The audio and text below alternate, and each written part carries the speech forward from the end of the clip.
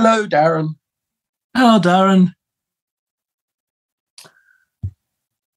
It's um, it's Christmas. Well, it is. It's. It, I mean, it's it's Christmas for uh, half the year, isn't it? yeah. well, when you're watching this video, that particular day is either happening or it's happened. Oh, hold on. We're putting this out on Christmas Day, are we? This is Christmas Day. Well, oh. here's the thing. I mean, the 12 days of Christmas, do they start on Christmas Day? These are all the things that better, better YouTubers than us would have um, worked out, wouldn't they? Yeah. Um, so, yeah, well, this is going out on Christmas Day. Um, it's uh, it'll be of no surprise to viewers to know that it's not actually Christmas Day as we are filming it. Yeah. Uh, happy Christmas in that case. Happy Christmas, viewers. Yeah. Both of you. Thank you.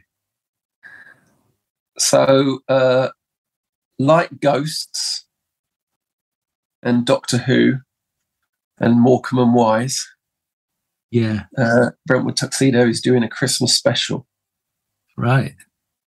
How uh, about it? Well, it was your idea.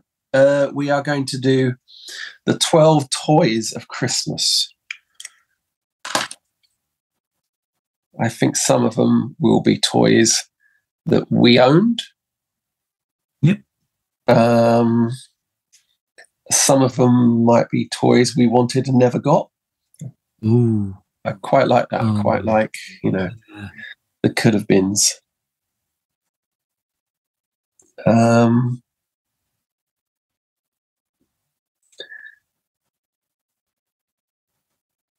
some might even be toys. Some might not even be more, toys. Yeah. More gifts. Yeah. Now we say 12.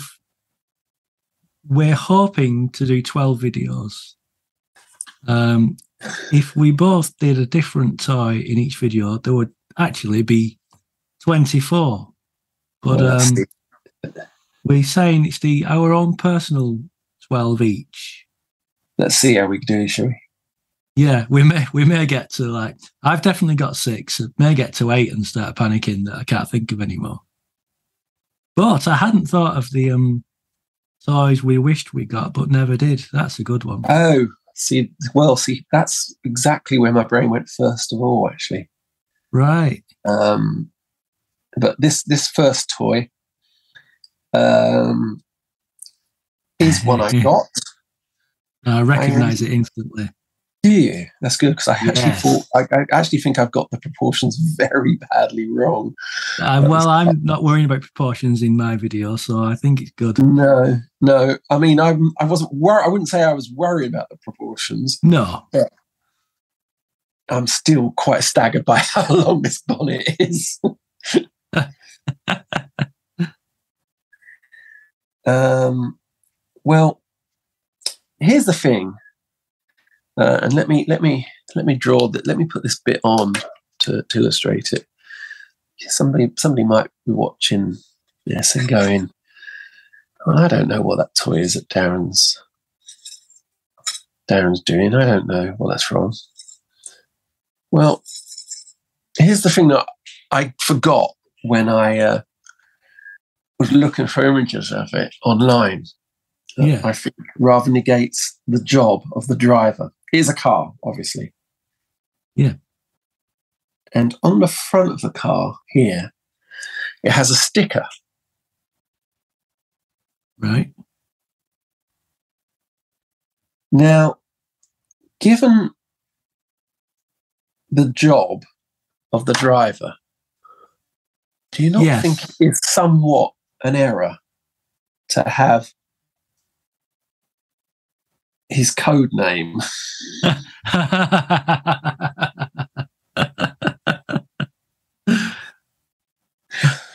on, on the bonnet of the car. Was that like it's just advertising? You're trying to get some more business. well, I mean, it's quite it's, it's, quite often argued, isn't it, as to who was the superior fictional uh, spy. You know, was it Was it James Bond? Or or or was it George Smiley? You know, from um, Tinker Sa- Tailor Soldier Spy and uh, Smiley's People. Hmm. Uh, John le Carre's quietly spoken, owl-like professorial uh, master of espionage. Because I don't remember Smiley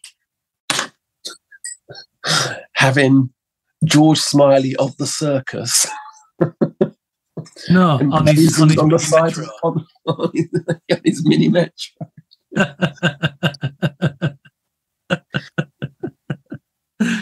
he missed a trick there. Um, oh, can you keep them organised? I, I I need a little bit of uh, lots of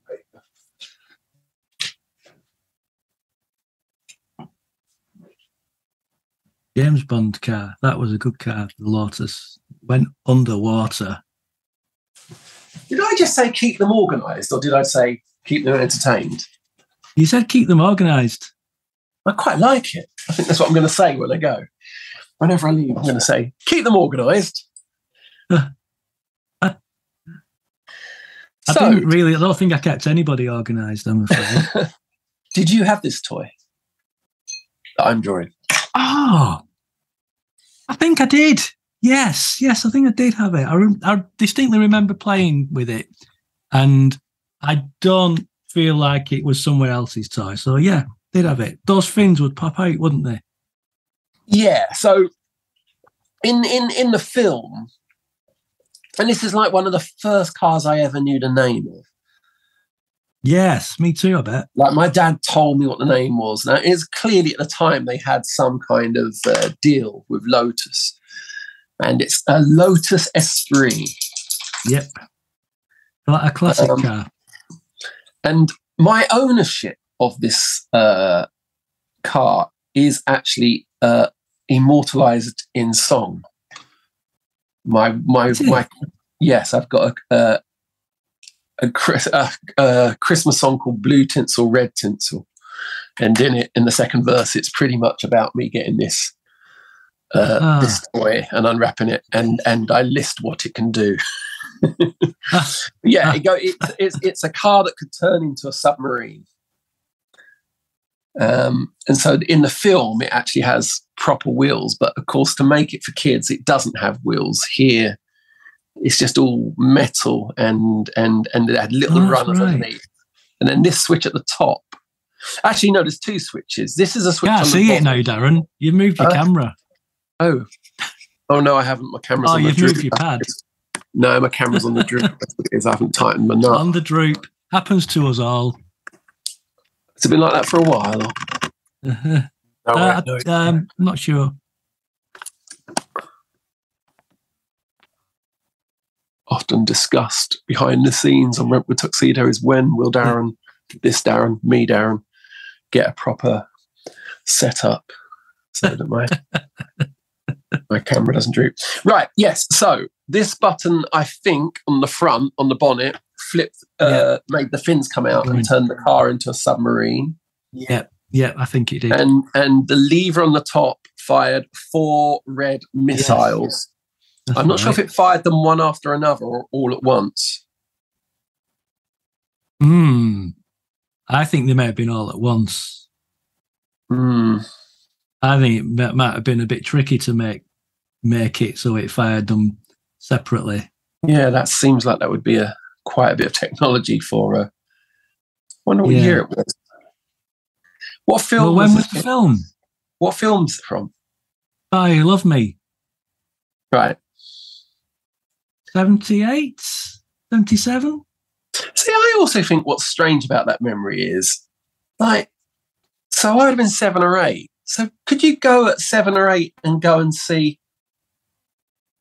this man like boning any woman who came comes within five feet of him, killing and strangling and electrocuting people?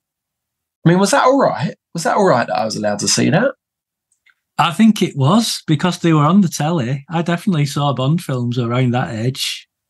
But then I, I suppose if I had this toy, I suppose I, I suppose someone took me to the cinema to see it, did they? Not necessarily.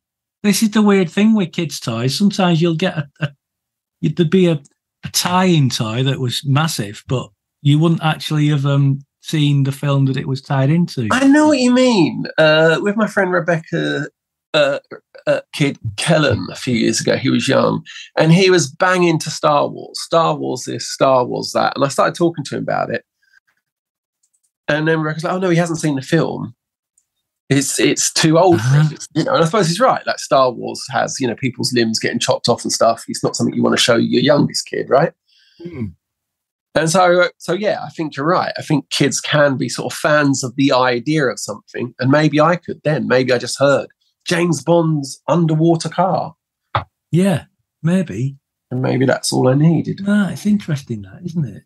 Yeah. So I certainly don't have as clear a memory of going to the cinema to see The Spy Who Loved Me. No, it was 1977. Uh, Star Wars year. I can't, I don't imagine I went to see a James Bond film at seven. No, I don't either. No. How strange. Well, can can also can yeah. we not find out whether it's even possible? Like, can't we find out the certificate of the film, and that would tell us even if it was possible that I saw it, wouldn't it? Could do. Uh, we could do. I can't be. I can't be bothered. But I know. I know. You're asking me to do it. I know that. It's uh, um, only because you draw quicker. And I've got the iPad right in front of me. BBFC, what I'm looking for, isn't it? What was it? PG. No, okay. it's currently PG, you see. So I, currently so I, PG. So I could have seen it, couldn't I? That means a parent could have taken me to see it. Yeah. Well, oh, hang on. No, this is the um. That was the certification for the bonus materials.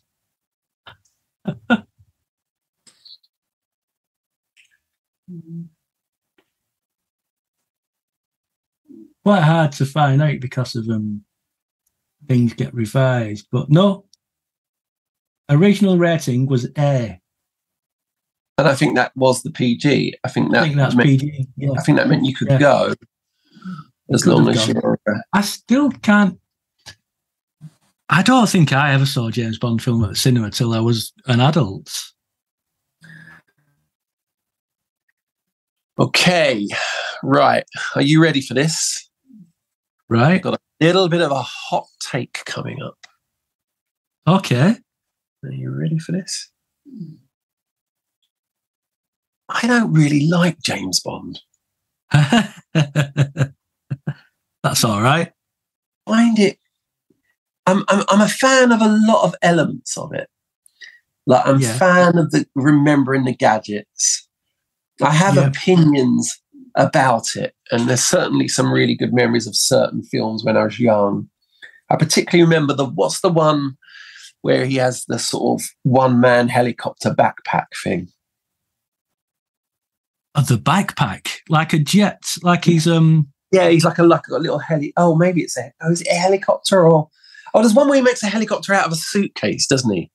There's a suitcase. That would be. Um, oh, it's the one in Japan. That's in Japan. You only live twice. Yes, which is got possibly the best uh, music as well. I well, think. this is the other thing as well. I am a huge, huge fan of the music. I have got yeah. all of the main soundtracks, and I don't just mean the theme tunes. In fact, I'm not that bothered about the theme tunes. I love the, the incidental you know, stuff. Yeah, it's really great. Yeah. Yeah. Um, it is great. Um, I love all that. But when you want to watch them, you know, you know what I, you know what I really don't like about them? What? Shocking. Hmm. I'm a bit tied up at the moment. Hmm. Hmm. the quips. He's just such a prick, isn't he? He's just Bond. a real. He's a real prick. I mean, regardless like, of who the actor is, just Bond. Regardless character. of who the actor, all of them yeah. play him as a prick. And I reckon, like when they're hanging out, like the spy canteen, I reckon like 005 is like, oh fucking hell. Here comes Bond. How, how do I like my coffee? Shaken uh, like a latte. Uh. It's just such a knob. Is it not the job? I think all like that. Do you think? No, I don't reckon. Oh, well, Smiley isn't, is he? Yeah, but he's not got a license to kill. I think, I think, I think, I, I think Smiley's Smiley's got blood in his ledger. Yeah, I don't know. I think all these people, you know, hey, you want to get a job at, you want to get a double O certificate, mate. You can kill people. It's great. right. Well, we've we've talked a lot about mine. What's going on over in uh, What's going on up in Bolton? There. What's it? What, what year of Christmas is this? And and and and and what is young Darren uh, excited to receive? I better check the year actually. Um, Let's have a look. It's a, a grandstand scramble, which was a tabletop um, video game. Right. Okay. Scramble. 1982. Help me out a bit with Scramble. Yeah. Well, which one is that? Which is one that, is, it? Is it a, is, is it a horizontal one? A horizontal. Horizontal. Yeah. Yeah. You've got you can shoot rockets and you can drop bombs. Yeah.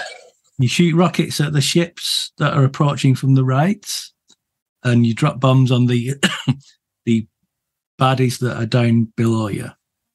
Go how much? How many of these toys from the seventies? These boys' toys yeah. that we had when we were young are going to be about killing.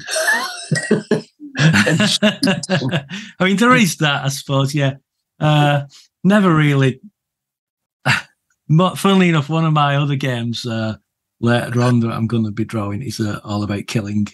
Funnily enough, uh, yeah, your car is obviously about killing. Um, we like there you go. You see, James Bond killing. You can kill people. It's ass. um, so um, what I vividly remember, there's a couple of things I vividly remember about this game. One is the tune that started before each level, and it's the shitty 8 bit chip, and it'd be.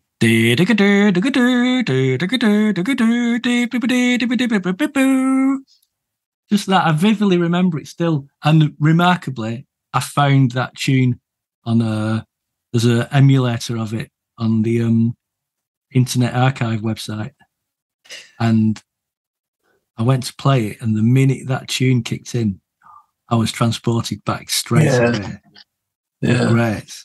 The other thing I remember about this was I'd asked for it for Christmas, and I was still I was 82. I would have been nine.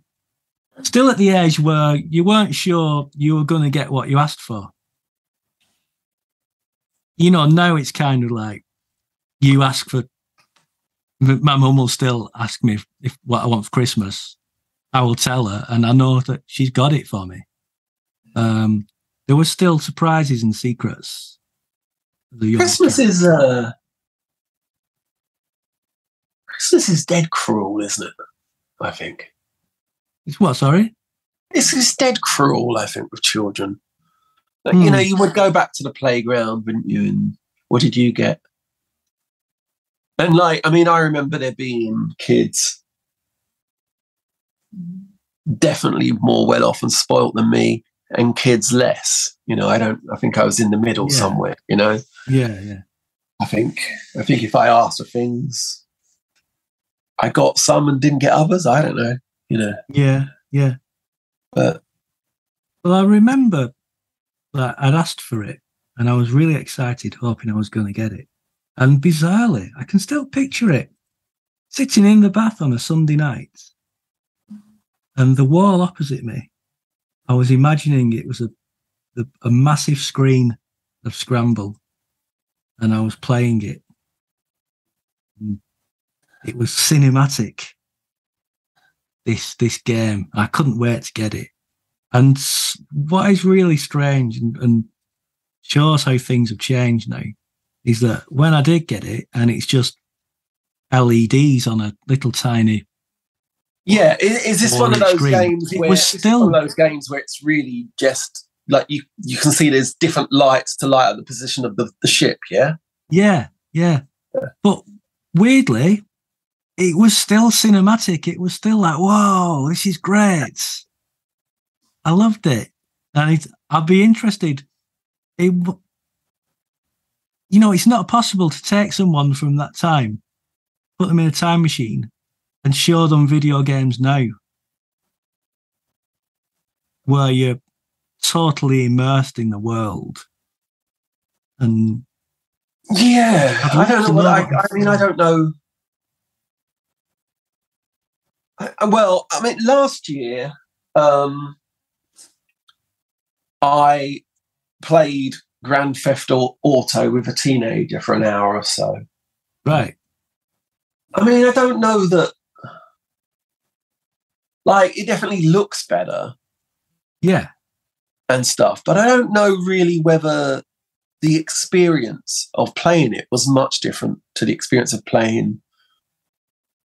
I don't know. It felt like, oh, I'm playing a computer game again, like when I was playing uh, Way of the Exploding Fist. Oh, on the that's good. PS4. What's I think the, the the only difference with with Grand Theft Auto, I think you're right. Very often, you know, gameplay is still just gameplay to to a large extent. It's still sort of go Well- here, find the thing, isn't it? It's still. Yeah, yeah. What GTA did, which was something I always used to think again as a kid, uh, and it wasn't a radical thought. I'm sure loads of game players had the idea, and that's why these games developed. Is that you used to have a, a driving game, or you'd buy a flying game, or a shooting game, uh, and there may be like missions. You know, you've got to um, you've got to go and like find some baddies in in uh oh god knows where like it's usually some made up country that sounds a bit like russia. Um and i'd always thought but we've got flying games. Why can't we it'd be great if you had this game and you could fly to that place before you did out did the mission where you've got to go and get the baddies and then you're thinking maybe you could drive to the airbase then get in the plane then go and land and be on foot and find the baddies. And that's really all that Grand Theft Auto has done. It's just put lots Yeah. of different game genres together and made this open world. But ultimately, it as much as I enjoy these games, and one one of those modern games will pop up in my list. Um, sometimes sitting at the kitchen table with your little LED lights and a little stick and two buttons was kind of all you needed to really like have a magical experience. I uh, never had any of those. I never had any of those handheld games. I Don't know why. I don't know whether it's I didn't want them or I wanted them but didn't get them. But uh, yeah, I, ne- I never had any of them. Hmm. I did eventually have a ZX81. Yeah. Which just did not work. My poor dad constantly taking it back to the shop, and then we'd have the Um, RAM pack, and the RAM pack wouldn't work. They were pieces of shit. I do remember playing a game called Mazogs on it, right. Don't know that one. and then a few years after that, I upgraded to a Commodore 64, which I might, I Oh, might, so- I might, I might, I might, I might, they might come up, prop up in some of these. Did the ZX81 put you off getting a Spectrum? Yeah, I, th- I think I'd have it with with Clive Sinclair. I think he could do one, and I felt totally vindicated. Like I still think they were fools, the Spectrum people, the little silly Right. rubbery Well, and I tell you like what. So I'm going to give away one of the future videos. I will be drawing a Spectrum. So maybe you could draw a Commodore at that one. Let's let's let's let's duke it out. Yes, exactly. We can fight because everyone knows that the computer they owned as a kid was the best one. Uh, Well, that's my toy. That's my toy. I think we did well there. Nice question. Remind viewers, we're trying to keep these short because probably a bit busy. It's Christmas. But, you know, Also, be interesting to see if more people watch our videos if they're not like two hours of us wanging on about comics. very good. Well, Bye, say bye, goodbye, Darren. Darren. Bye, Darren. Bye, Darren.